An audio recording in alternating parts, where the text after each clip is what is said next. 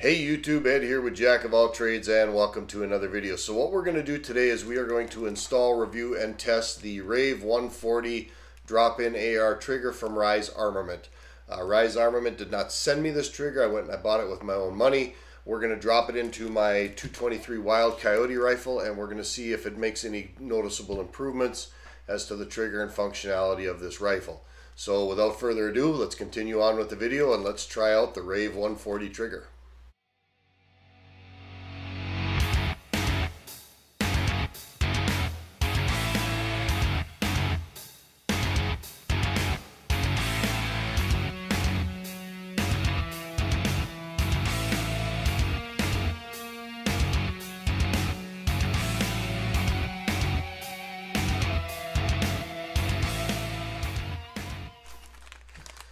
Just a little quick note for the folks at YouTube, this trigger should not in any way, shape, or form uh, not comply with your rules. It is not what is considered a hair trigger. This is just a drop-in trigger assembly. It's the rifle I'm putting it in was a kit. I had to assemble it myself anyway, so I'm basically just going to remove the parts that came with the kit and I'm going to use the drop-in trigger. This should in no way uh, not comply with your rules and guidelines policy. It is not a hair trigger, it is not a forced reset trigger, it's not an illegal trigger, and it's not a modification of the rifle in any way, shape, or form. So before we get into this trigger, please, uh, if you're liking this channel and you're liking this kind of content, hit that like and subscribe button down below. Uh, less than 60% of the people who watch these YouTube videos actually subscribe and the subscriptions and the comments and the thumbs ups really do make a difference in supporting the channel. I never ask for money. I don't have a Patreon account. I just ask for your support by hitting that like and subscribe button.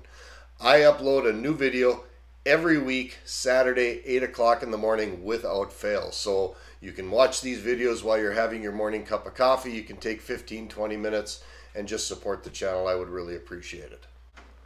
All right, so let's talk a little bit about the Rave 140 trigger. Now, I've been eyeballing this at my local retailer here in town for quite a while. I, I run pretty much nothing but mil-spec triggers. I have never done a drop-in trigger in any of my ARs. And typically that's because I can get my AR triggers pretty pretty nice uh, just polishing up the mil-spec trigger. But I've always wanted to try a drop-in, but I really hesitated with the 200 to $300 price tag that you get with some of those drop-in triggers. So I'm going to give the Rave a try. So let's talk about some of the features as advertised on the Rise Armament website. Uh, it says a smooth, crisp break with a short, and they call it a quick click reset. That's uh, apparently a, a, trademarked name. That's something that they uh, they have trademarked, and so it's basically a good crisp break with a reset that you can really really feel. Now I don't have any problem feeling resets on my mil spec triggers, but perhaps with drop-ins the resets are a little tough to feel. I don't know. We're going to see how this one stacks out. Uh, you can get this trigger in either a curved or a flat trigger. I, I hate flat triggers. I've shot a few flat triggers from um, ARs of my friends, and I just really don't like the feel, so I'm, I am going to go with a curved trigger pretty much every time. Uh, it's supposed to have about a three and a half pound pull. We'll put the pull gauge on it. We'll test it. Uh, there's supposed to be almost no take up. According to the website, they're saying that the take up on the trigger is 0.04 inches. Essentially, what that means is when you start squeezing the trigger, you're immediately engaging the sear, which should give you a nice, positive, crisp, clean break. This is a single stage trigger. This is not a two stage. Uh, again, that was on purpose on my part. I'm not a big fan of two stage triggers, just never really have liked them even though most of the mil specs are somewhat of a two-stage trigger. Uh, that's that's designed for safety's sake in the military, as well as the seven to eleven pound trigger pull that they put on those mil spec triggers. Again, in the military, that's a safety thing. They don't want you squeezing the trigger when you're not supposed to. Uh, interior parts on this are uh, made out of S7 tool steel, so it should be fairly heavy duty. It's all contained in a, in a 6061 anodized aluminum housing, so this should be a fairly durable unit. I have actually had it out of the package and I've played with the hammer. It feels like the hammer's got plenty of spring tension to actually uh, engage the firing pin correctly and fire the rounds. We will see how that works. Uh, everything is supposed to be precision machined and is supposed to be handcrafted tuning. Uh, I've never seen them build these things, so I have to kind of take their word for it. Uh, each one they claim is individually inspected, so I am hoping that the quality control is uh, very high on this.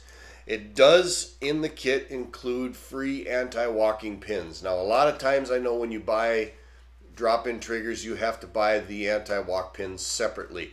Uh, this trigger does come with them. They're in the little bottom section of the bubble here. So that is kind of a nice option. Uh, like I said, as I understand it, many drop-in triggers don't come with those anti-walk pins.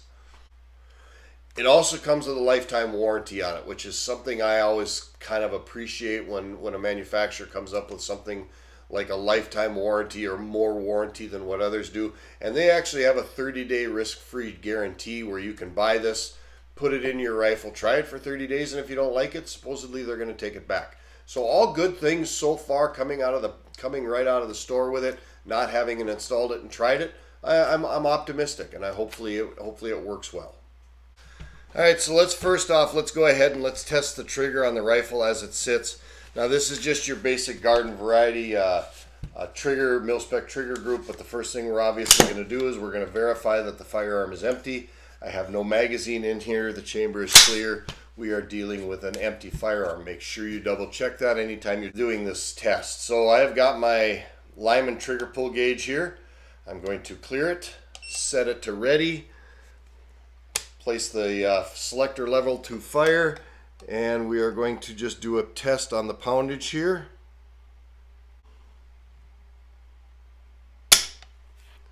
Six point two pounds, six point two eight pounds. Six point six nine pounds.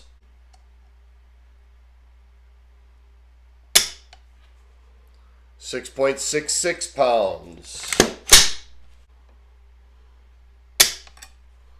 6.77 pounds. So pretty consistently right around a six and a half pound trigger. That's the uh, that's the standard stock trigger that came with this rifle setup. Okay, so now what we're gonna do is I've got my tape measure here, and we're gonna just we're gonna check the take up a little bit on this trigger. So I am about an inch and one eighth as the trigger is sitting at rest. As I squeeze the trigger, an inch and a quarter. So at about an inch and a quarter is where the trigger breaks. So I've got just a little bit over an eighth of an inch of break on the trigger. Now if I keep the trigger pulled back, recharge, back at that inch and a quarter. My reset is almost all the way to the end of one eighth of an inch. So we've got an eighth of an inch of take up and we've got an eighth of an inch of reset.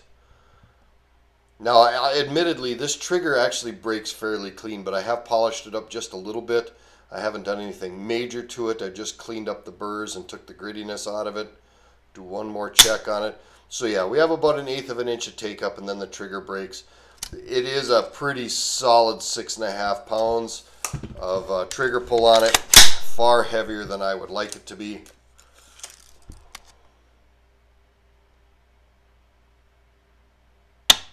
Reset is all the way to the end. Okay, I've got the trigger installed. Let's see how this pulls out now. Three pounds, five ounces. Three pounds, 6.1 ounces. All right, let's see what the take up looks like.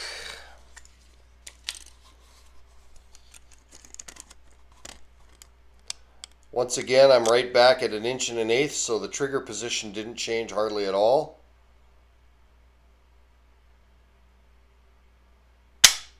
There is no take up it's immediately engaging the sear. So immediately right off the bat, it's it's it's much much crisper and it's much more positive than it was.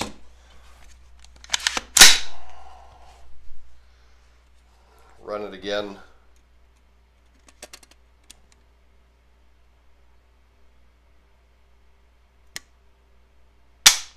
Immediate. So let's go ahead and let's uh, Let's check the reset. I can feel the reset engaged.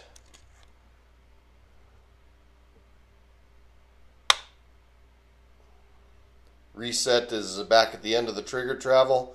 Once again, it's an eighth of an inch, just like it was on the mil spec, but it's very, very positive. All right, so the trigger's installed, and at first blush, uh, I'm liking it. Uh, I went from a six pound, seven ounce, pretty consistently mil spec trigger pull uh, because it is polished up a little bit, and I went right down to a three pounds, five ounce, three pounds, six ounce. At any rate, the trigger is much, much nicer than it was before. Uh, there's no take up whatsoever. There is zero take up. Uh, the reset is actually pretty good. I don't see that it improved all that much, but I'm very happy with the reset. It's very audible, it's very positive, and I can certainly feel it. So at first blush on the bench, I'm, I'm liking the trigger so far. I think it was worth worth the money that I spent on it. That all being said, now we just need to take it to the range and shoot it. Now, this rifle typically shooting uh, this federal gold medal match 69 grain ammo. Uh, I know if I do my part, the gun will shoot under an inch. Uh, I've, I've had groups as good as three quarters of an inch. That's, of course, all if I'm doing my part. So I will try very hard to see if I can see if any there's any noticeable improvement. I do certainly notice that there is an improvement on the the way the trigger feels. So let's see if it helps with my groups at all. So we're here at the Red River Regional Marksmanship Center and we're going to go in and try out this trigger. Uh, again, it's kind of windy and it's kind of cold and I'm a wimp and I don't want to sit outside in a cold range. So we're going to go to the indoor rifle range here and we're going to try this trigger out. So let's go down and let's fire the fire the rifle and see how I like this trigger.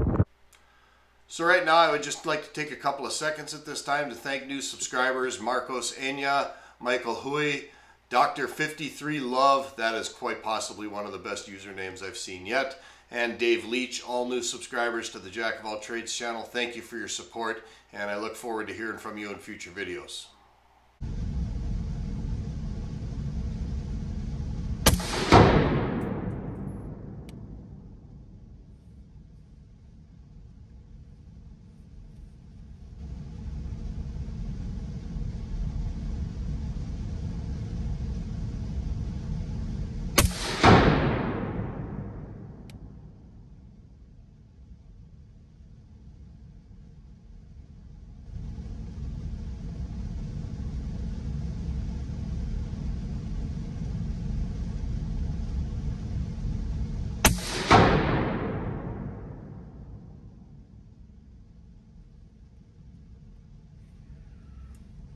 Really like that trigger.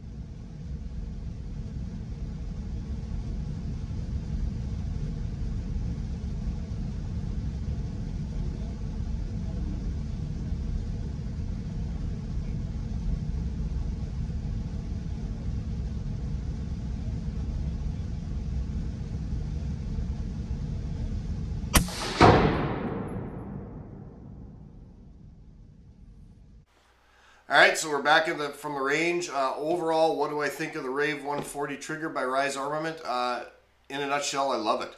Uh, what do I like about it? I love the price point. It's I don't have to take out a small loan to get a new trigger in my AR. It's got a very good, crisp, clean break. There is zero grit involved. It's no grit. It's got no take up. The reset is solid. It's very audible. It's very tactile. I can feel the reset. Like that about it. It's very well constructed. It's made, it's high quality. Uh, Rise Armament claims that they do a hand inspection of each and every trigger before they go out the door, and I have to believe that because the trigger that I got worked absolutely flawlessly. Love the fact that it comes with the anti-walk pins. That's a that's a added bonus to me. The ease of installation. It was literally a drop-in. Now, qualify that, you will have to remove the safety to get this trigger in, but that's not a big deal. You just remove the pistol grip and the safety comes out. Uh, if you've ever done any trigger work on an AR, you won't have any problem with it.